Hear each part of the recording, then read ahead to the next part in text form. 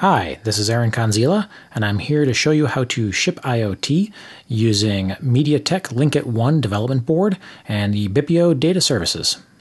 Okay, first you want to go to your BIPIO dashboard at shipiot.net and click on Create a BIP. And we'll add our event source as an incoming webhook and set the endpoint.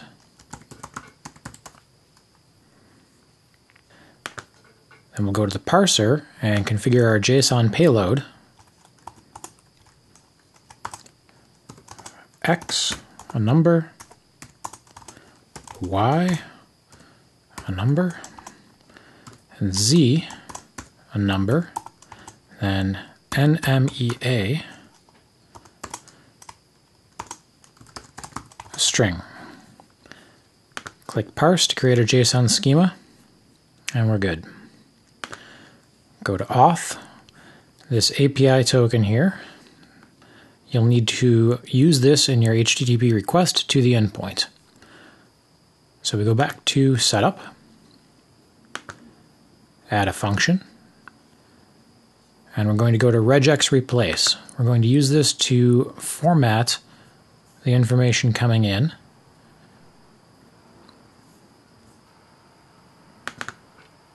Open up your regex.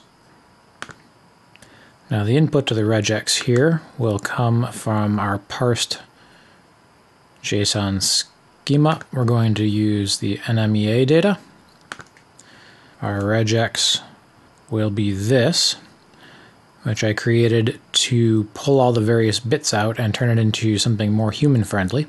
And we're going to replace that with this string, which will be the message that we actually send out. And this uses the capture groups in the regex up here to uh, reformat things into this friendly string here. Click OK.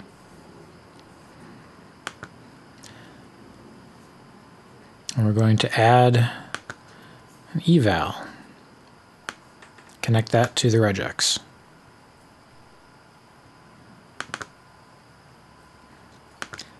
This we're going to use to test if the z-axis data is less than 230. Now this value I got empirically by testing the output of the accelerometer and seeing that the only time that it would go below approximately 250 or so is if the accelerometer was severely tilted to the side. So any value below 230, it's safe to say that in the case of a motorcycle crash detector, the bike is on its side or otherwise not operating. So that will trigger our event. All right, then we're going to add a test input is truthy.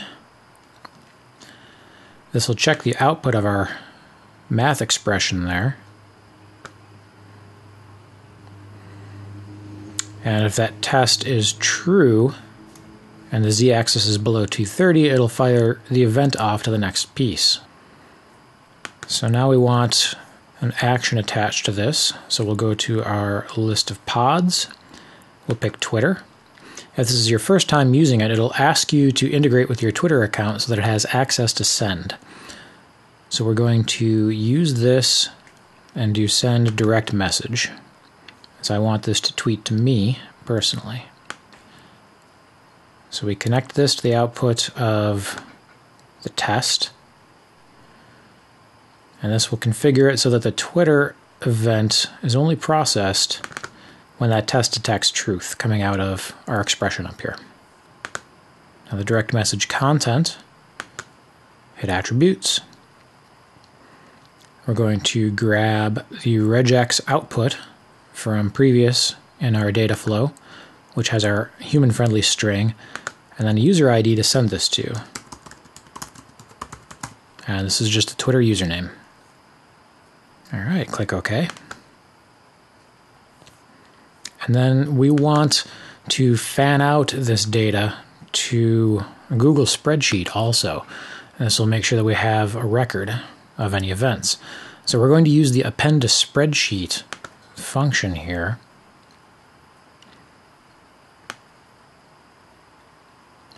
and also connect this to the output of our test.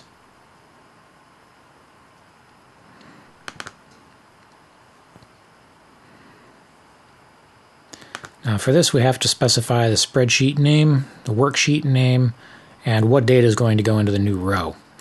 Uh, you need to already have this spreadsheet created in Google Sheets and have a worksheet that has this name in that spreadsheet for this to work.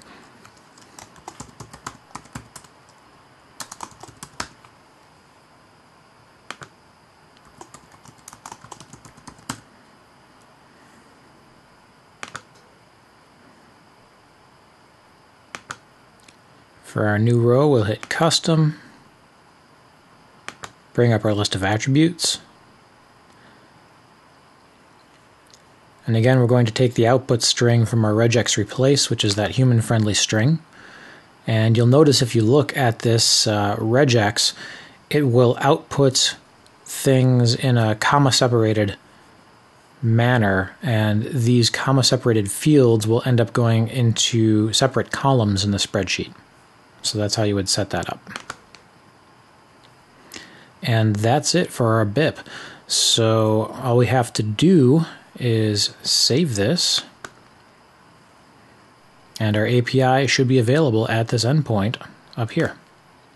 Just make sure that you put this endpoint and this host name and your auth header from the auth tab over here into your code so that your MediaTek Linkit board can access this API. And that's it. We'll test it out. Let's go for a ride.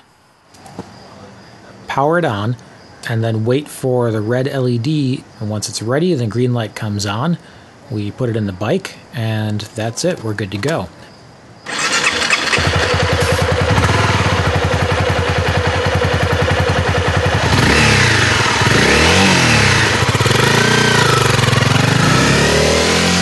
not actually going to drop the bike, but we will test this. You'll see that shortly. Okay, so here we can see our data workflow, and it comes through, goes through our processing, and fans out to Twitter and Google Sheets. This is the sheet that the data will end up in. So we take our demo here, and this is linked up, it's synced to GPS, and we're going to turn it sideways to simulate a bike crash. So we'll let it send the message, and we'll see pop up on Twitter through the Pebble Watch and right in the spreadsheet, bam, there's our message. Right through Twitter and right through the Google Sheets. And here in Twitter, we can see the messages come right through with all the data from the board pretty cool stuff. And to take a board like this and hook it up with the BIPIO data services and get a result like this, and be able to keep track of a motorcycle, see if there's any problems right away, that's awesome. This only took us a couple hours to put together.